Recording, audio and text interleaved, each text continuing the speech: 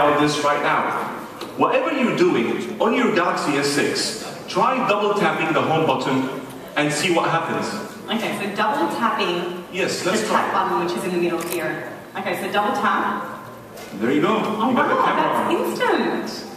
Amazing. Love a selfie. Okay.